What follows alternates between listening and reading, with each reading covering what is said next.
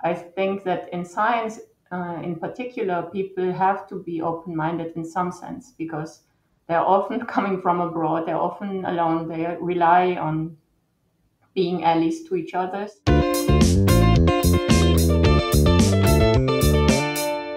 Hey there. Welcome back to Offspring Magazine, the podcast, the podcast where we discuss topics around careers, open access, equal opportunity, and all kinds of things we experience during our PhDs.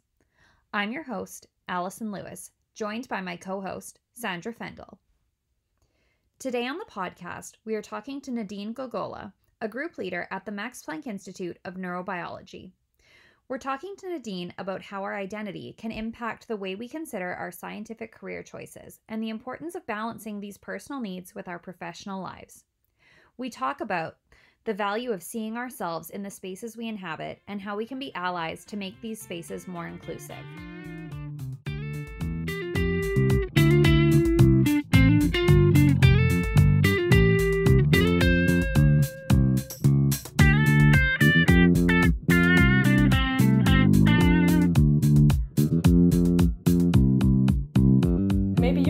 Give a small introduction to yourself and what you're doing, Nadine? So, my name is Nadine Gogolla, and I'm a research group leader um, at the Max Planck Institute of Neurobiology uh, outside Munich. It's very exciting. So, what do you do at the Institute for Neuroscience? Like, what kind of research do you do? Yeah, my lab studies uh, emotions, the neuronal underpinnings of emotions, and we use uh, mice as animal model and we're trying to solve circuits that could underlie different features of emotions, such as uh, valence, um, how do the body talk to the brain, um, yeah, how do we perceive emotions, uh, how do emotions elicit physical but also behavioral changes? How do they affect decision making and so on? Were there ever times where you didn't want to stick with science? Because it can it can be really hard. It can be it's a lot of failure and i think a lot of people not in science don't see that. Were there ever times you wanted to give up? Um, yeah every two years maybe. That's good um, to hear yeah i think that i i never thought that i was a born scientist. There were many occasions where i thought i could be doing so many things. Um, i was interested in psychology. Uh, i was interested in arts and i thought maybe teaching would be better. Um, so I always put everything into question or very regularly. And I thought that the scientific career was very good for this because it, it gives you ways to go on for some time, for some years, but still have opportunities to, to branch out and do something else. So I know that some of my friends really went into teaching because especially in Germany there was some lack of teachers and they tried to recruit from students who studied biology or medicine or so on. Um, also, I I was interested in pharmaceutical industry at one point, but in the end, I I always stuck with science because I decided that it was better. So for me, at least. How important was it for you to have women as role models when considering whether to stay in science? Um, I think it was very important, but um, I also had male mentors who just told me you can have it. You just do not need to wait until somebody else does it. In the end, it has to be you who who achieves this. And um, especially my PhD mentor was very much supportive of this idea, and he he did even tell me that maybe in my case it would be easier to move to the US and start a family. Um, so he really supported me and just by telling me that he thought it was possible. I think it, it wasn't a role model, but he was pushing me into the right um, direction. When you say um, in your case it might have been better to go to the US, what what do you mean? Like what was special about the US that may have been more suited to you than anywhere in Europe? Yeah, so I'm in a same-sex relationship, right? I'm married to a woman, and mm-hmm. at the time um, I did my PhD, I met her, and uh, at that time, until today, I have to say it's much harder in in Germany, at least. And we were in Switzerland together Um, she is French. So in all those countries that we were aware of, having children was still difficult, was some sort of a gray zone, which wasn't really possible, but some people managed, not illegally, but somehow in some gray zone where they managed to organize this. While in the US, there were official paths uh, to achieve pregnancy, to get married, um, and so on, at least in the state where we went, which was Massachusetts. So it's not true for all the states of mm-hmm. the US, or wasn't true at this point, but for the coasts, it, it was true. And they were more advanced than Europe in this uh, matter. So, so you did go to the States for a while then? Yes, for six years. Okay. And if if you thought the states was maybe better suited what made you then decide to come back to germany if if at the if you know you originally didn't think it was the right choice yeah i think um two things one is that we had achieved to get a child and get married okay um, so this was ticked off and we could afford to come back um, before we moved back, we made sure we could have a second child here in Germany. And then by that time, it was totally possible. And by that time, also, we were able to marry uh, both in Germany and in France. So things had evolved.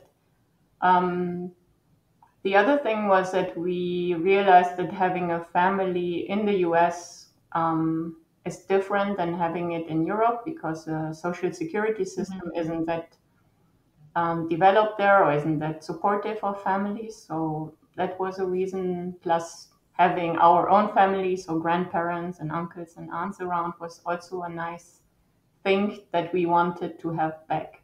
But we were hesitant. I mean, we considered staying in the US. Um, but eventually, I think it was a very good choice for us to come back to Europe. Okay.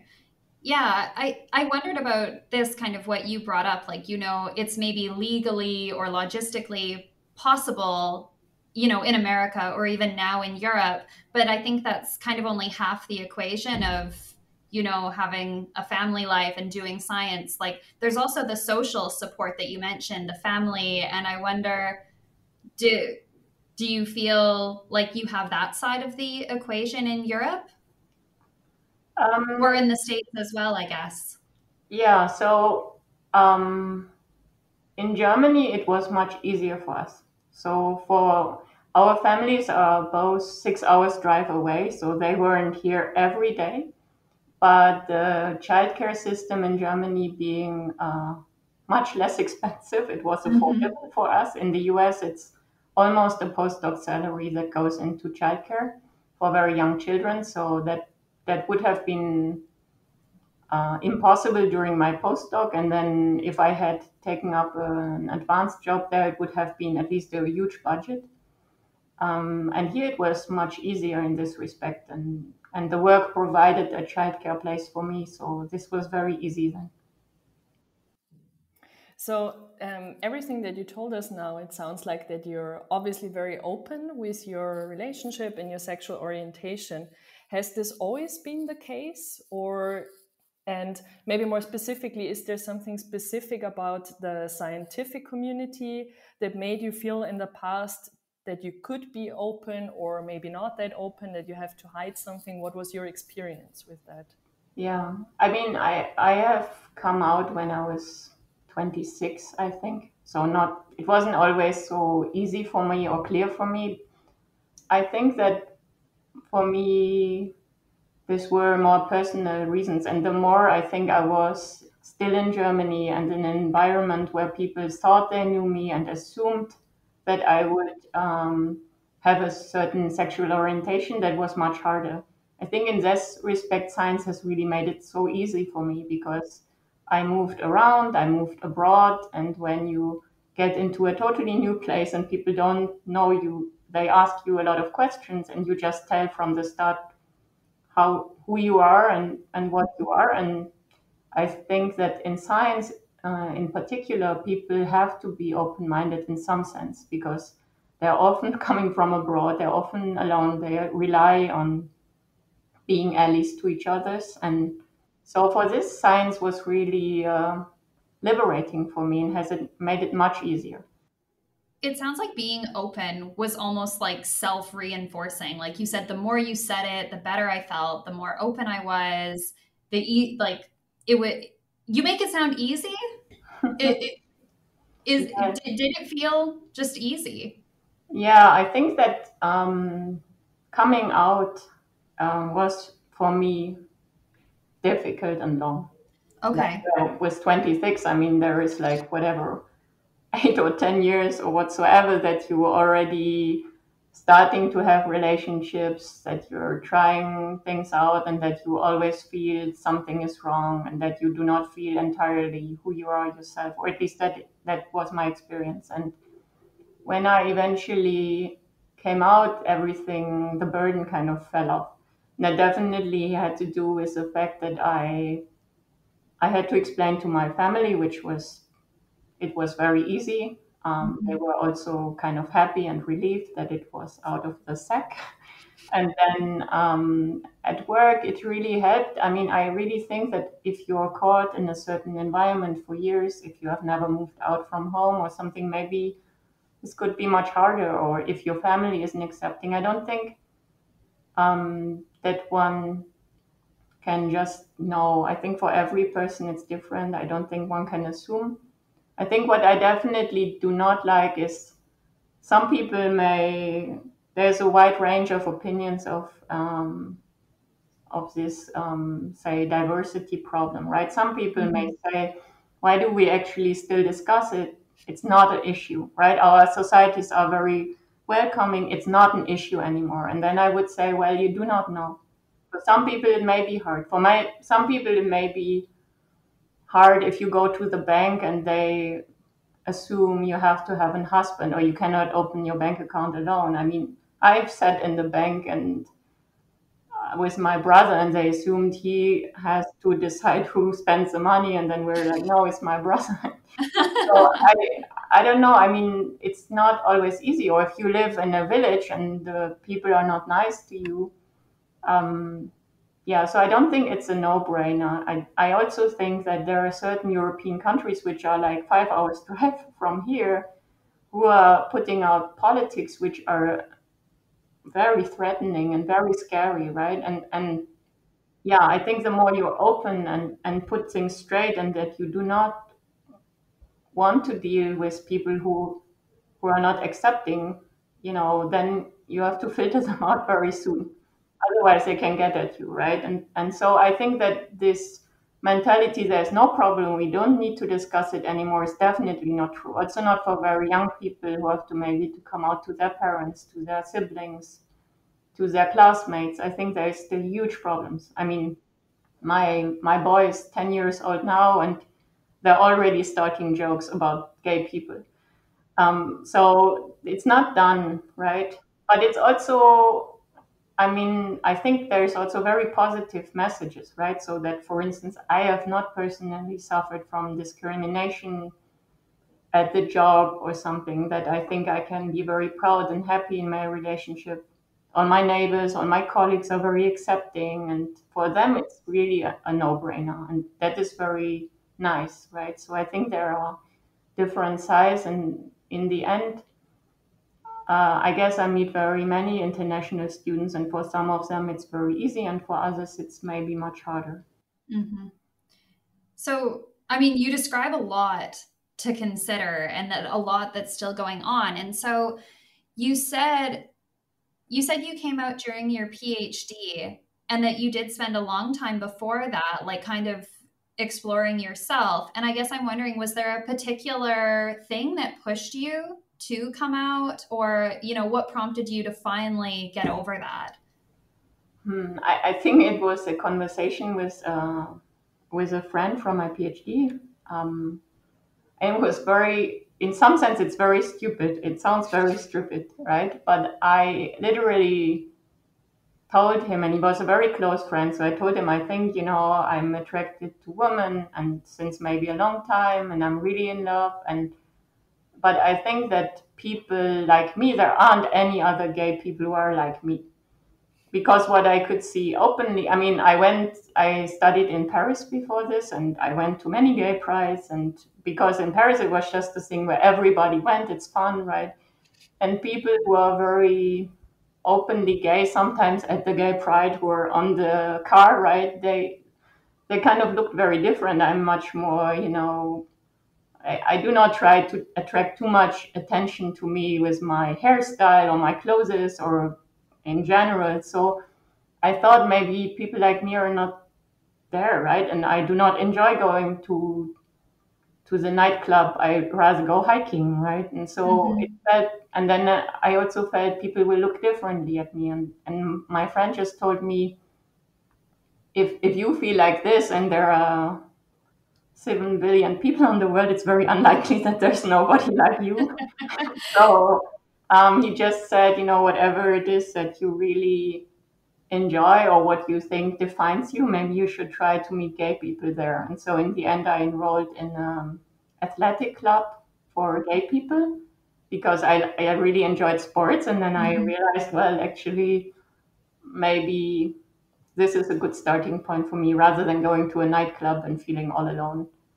Is is this also the reason maybe why now as a as a group leader you're so open with your sexual orientation? So for instance, I saw that I mean you're now talking to us, which is amazing. Then um, on Twitter, I saw that you have the little small um, pride flag there. Also, is that the name? Yeah, yes, right. yeah. you have this little flag there. So, is maybe your experiences um, did this kind of um, then lead you to being open with it now? Because I think it is extremely important also to have role models. Uh, also for different sexual orientations and then as you said like a lot of different role models because there's not just one lesbian person or one queer person and one type that you have to fit in, right? Yeah, yeah, I think that's very true. I think trying to, as I said, I didn't meet anybody I was dating in that athletic club, but just seeing some people who I found, oh, they enjoy the same things. They maybe have a similar lifestyle to mine, or they look like me, or they come from the same town. You know, some of these things where you think, okay, I can identify now. Um, this really helps. So, you know, if I talk about it openly, it's for two things. One is that maybe it can help younger people just to see that it's possible. The the other thing is that I have two children and I cannot hide this, right? They have two moms and they have to know and they have to be proud of this. So if I do not manage to be open, I I, I mean, they have to come out for somebody else every day. If they go to a new um, sports club, if they go to a new activity and one mom uh, drops them off and another mom picks them up, the children are asking. And so my children have to come out in some sense for their own moms every day. And I, I think if I would be hiding something that this could be very damaging to them because there is nothing to hide. I want them to know this is totally normal. This is and and they do not perceive a big difference right now because wherever I go, I present my wife as my wife. Um, so these are the two reasons which I think are really also encouraging me to never make it a secret. What can allies do to try and create a better environment where people don't feel that way where people can have a better experience and maybe feel confident to come out and to be their true selves. Yeah. Again i have only very like general rules which i think apply to mm-hmm. many problems. I think one is to to not ignore such incidences if you see them happen right? If if you feel that people in the lab are not talking to each other in a friendly way or that somebody is not participating in the social events or is constantly somehow bullied by even if it's only one lab member maybe just speak up because on the next day could be you could be for something else right? It could be so i think and then the other thing is maybe not assume too much because if somebody is not out, for instance, or is not so comfortable yet, or for any reason can't right now communicate um, their situation. Um, I think assuming and pushing people into a corner just creates a lot of tension, right? As soon as everybody thinks you must be straight, you must have a boyfriend somewhere, you must be this or that, then it's very hard because you have to essentially correct people. Yeah. Mm-hmm. That makes sense. Yeah, and I also think still that very often at uh, institutes, for instance, now in the science world, the trainings can be really important because just not everybody is so aware of the things that we're talking about now.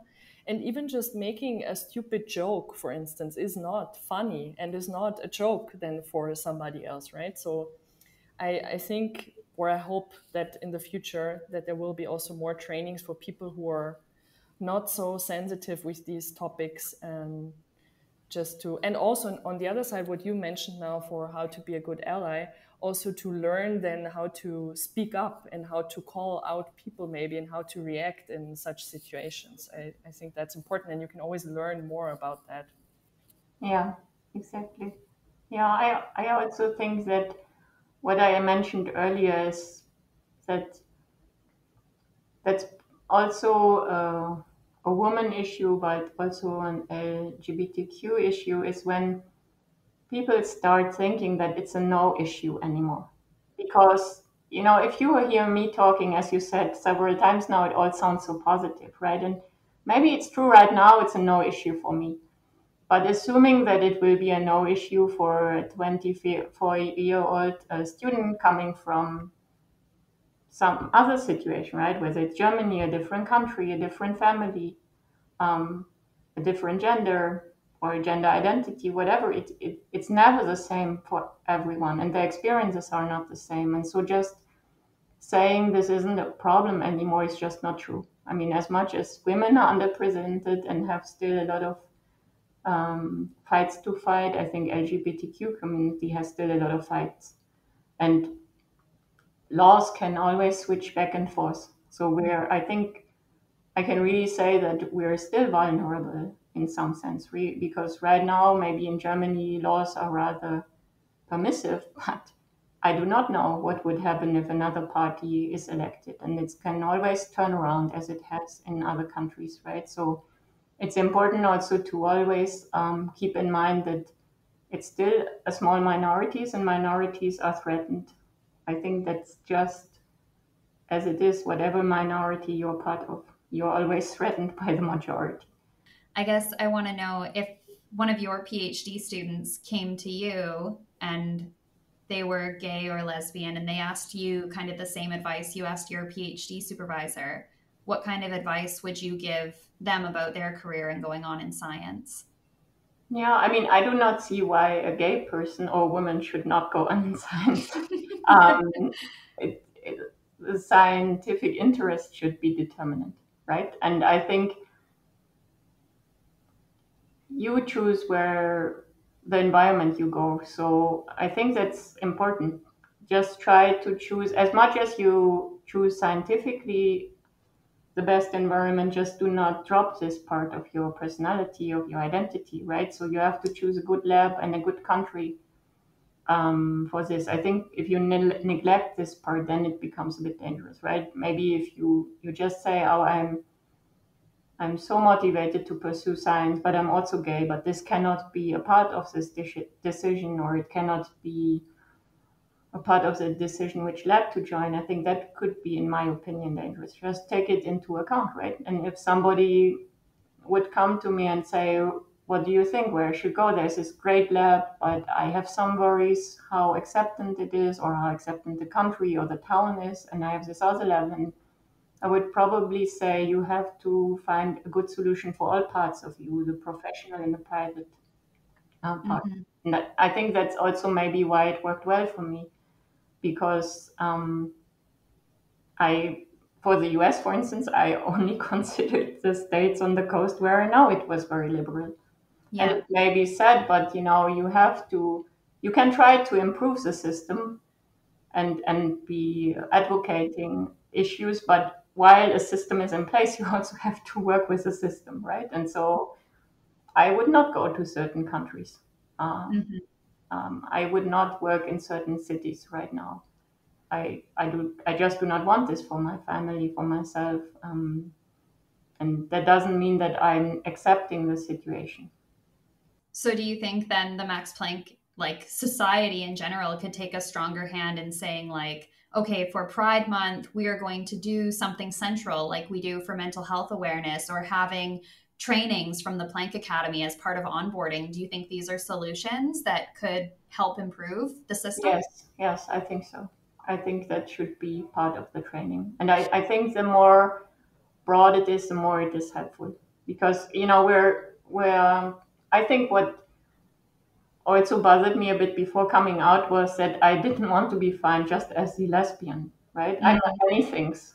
And I'm not only a scientist, also. I go out there, I'm a mom, um, I'm a woman, whatever, you know, maybe you, you think you're an athlete or you are a Buddhist. Uh, you know, you, there are so many parts of um, your personality which all also could create problems or misunderstandings at workplace. So I think that um, yeah, maybe creating training to be inclusive, to be accepting, to be open minded, how to create diversity, and maybe also, you know, create awareness that it's not yet a no brainer, that diversity is an issue in Germany at Max Planck, but also as it is in many other countries, right? In science in particular, it's a very white dominated, Western money dominated uh, profession, right?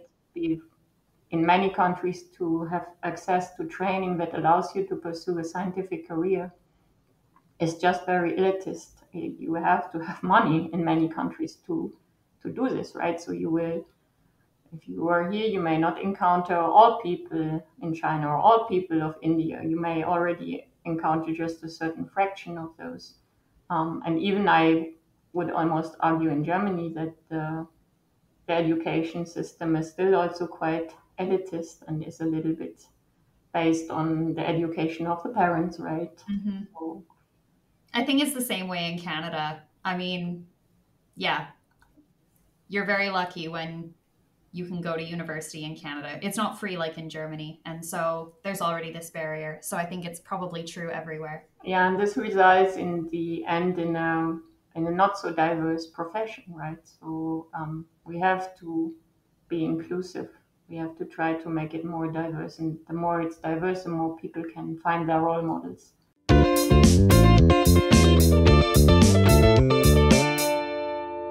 After talking to Nadine, one lesson I took for myself and I think could be helpful to any young scientist is the importance of considering your own identity and your values in addition to the science when moving forward with your career. I find science incredibly rewarding, but it isn't without challenges.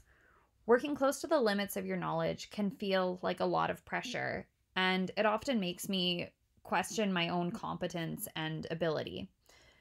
It often feels like many, many failures before success. And as Nadine said, everyone comes with their own history and experiences into science. And so I mm. think considering and respecting what I need in my personal life, like Nadine said, could make those inevitable challenges that I'll face in a scientific career easier to take in stride. Another thing Nadine brought up about striving for inclusivity in the workplace is the self selecting nature of elective trainings and workshops and how the people taking them are maybe not the people who need them most. And it made me wonder how we could try and promote these ideas in our day to day work so that we can reach the people who may not consider going to a training. I've thought about small signifiers like perhaps a pride sticker on my laptop or even sewing a flag patch onto my lab coat. Or maybe some small way, I hope I can identify myself as an ally and also express my values to my colleagues. And maybe talking more about the reasons I use inclusive language rather than just doing it, since some people may not yet know why I do it or even notice that I'm speaking differently at all. So, in addition to considering what I need to be myself, I hope I can also create an environment where others feel empowered to do the same. That's our show. Thanks for joining us and to our guest, Nadine Gogolla. See you next time. Offspring Magazine, the podcast, is brought to you by the Max Planck PhD Net and the Science Communication Working Group, known as the Offspring Magazine. This episode was produced by Allison Lewis and Sandra Fendel. It was edited by Allison Lewis and Adrian Lahola Chomiak. The intro outro music is composed by Srinath Ramkumar, and the pre intro jingle is composed by Gustavo Carrizo. The podcast series is hosted by Adrian Lahola Chomiak, Allison Lewis, Beatrice Landsbergen, Nikolai Herman, Sandra Fendel, and Srinath Ramkumar, with social media support from Nadia Piragova. For any feedback, comments, or suggestions, please feel free to write us at offspring.podcast at phdnet.mpg.de. Until next week, stay safe and stay healthy. Bye bye.